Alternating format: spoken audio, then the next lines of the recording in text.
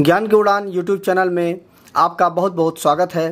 दोस्तों इस वीडियो में हम जानेंगे कि आपने बचपन से काफ़ी दिनों से सुनते चले आ रहे हैं कि 2G, 3G, 4G और अब 5G ये जो नेट मतलब जो हमारा नेटवर्क है उसमें स्पेक्ट्रम होता है कि गवर्नमेंट ने स्पेक्ट्रम बेचा इतने करोड़ रुपए का स्पेक्ट्रम बेचा तो ये स्पेक्ट्रम आखिर होती क्या चीज़ है? तो इस वीडियो को अगर आप देखते हैं लास्ट तक तो आपको एकदम से समझ में आ जाएगा। छोटा सा वीडियो है तो ये शुरू करते हैं इस वीडियो को। देखिए क्या है कि जब सारे ऑपरेटरों का जन्म हुआ मतलब जितने भी बी एस एन एल है आइडिया है, जो भी कंपनियाँ हैं, उन सारी कंपनियों का जब जन्म हुआ मतलब जित सारी जो सेलुलर कंपनियाँ हैं, वो आई तो ये सारी कंपनियाँ जब इनको ऑपरेटर बनना था, सबसे पहले इनको ऑपरेटर बनना था मतलब नेटवर्क ऑपरेटर बनना था। तो ये कंपनियाँ क्या हुआ कि ये गवर्नमेंट के पास इनको जाना होता है और जब ये गवर्नमेंट के पास जाती हैं तो गवर्नमेंट कहती है कि आप कुछ पैसे मांगती है गवर्नमेंट कि इतना करोड़ रुपया आप, पहले की बात मैं आपको बता रहा हूँ कि कि इतना करोड़ रुपया आप दे दीजिए और आप एक लाइसेंस लीजिए। ठीक है? लाइसेंस ले लीजिए और आप अपना नेटवर्क चलाइए।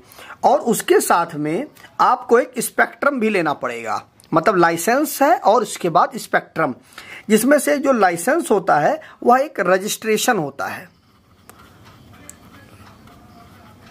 ठीक है?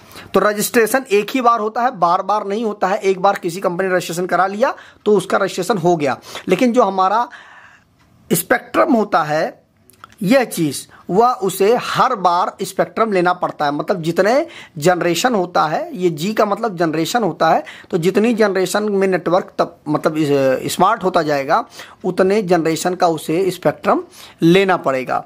तो यह जो स्पेक्ट्रम हमारा होता है, यह एक्चुअली में होता क्या है कि यह नेटवर्क होता है। ठीक है? नेटवर्क जो हमारे मोबाइल में आता है नेटवर्क हवा से चलता है। नेटवर्क जो होता है तो अलग अलग फ्रीक्वेंसी होती है इस नेटवर्क की। अलग अलग कंपनियों की अलग अलग फ्रीक्वेंसी होती है। फ्रीक्वेंसी होती है। तो गवर्नमेंट इसी फ्रीक्वेंसी को वो बेचती है, क्योंकि जितना भी, जैसे बिजली है, पानी है, ज़मीन है, इन सब पे गवर्नमेंट का अधिकार है, हवा है तो उसी हवा में जो अलग अलग फ्रिक्वेंसी की नेटवर्क चलती है अलग अलग कंपनियों की तो उसी की जो अलग अलग फ्रिक्वेंसी होती है, उसी को स्पेक्ट्रम बोला जाता है। वह गवर्नमेंट बेचती है अलग अलग कंपनियों को। तो यह जो कंपनियाँ होती हैं, उनकी फ्रिक्वेंसी चूँकि अलग अलग इसीलिए होती है, क्योंकि अगर अलग अलग फ्रिक्वेंसी अगर नहीं होगी तो एक, मान लीजिए वोडाफोन के नेटवर्क से फ्रीक्वेंसी से आइडिया कनेक्ट जो फ्रिक्वेंसी होगी वो मैच कर जाएगी तो उससे दिक्कत होगी। इसीलिए अलग अलग फ्रीक्वेंसी बेची जाती है। तो जैसे जैसे जनरेशन बढ़ता जाता है, उसी तरह से जो फ्रिक्वेंसी है, उसकी पावर बढ़ती चली जाती है। तो एक्चुअल में जो स्पेक्ट्रम होता है, वह फ्रीक्वेंसी होती है कि एक जैसे फोर जी का एक स्पेशल फ्रीक्वेंसी होती है कि इतनी फ्रीक्वेंसी से इतनी फ्रीक्वेंसी के बीच में फोर जी होगा। तो उन्हीं के बीच में एक होगा ना कि जैसे मान लीजिए दस हार्ट से लेकर के पंद्रह हार्ट ठीक है? इन दोनों के बीच में फोर, मान लीजिए फोर जी है तो किसी को दस हर्ट्ज दे दिया गया, किसी को ग्यारह दे दिया गया, किसी को बारह दे दिया गया, कुछ इस तरह से अलग अलग नेटवर्क मतलब फ्रीक्वेंसी दे दिया जाता है तो इससे उनका अलग अलग नेटवर्क अपना स्थापित हो जाता है। तो इसी को हम स्पेक्ट्रम बोलते हैं, जिसको गवर्नमेंट बेचती है इन कंपनियों को।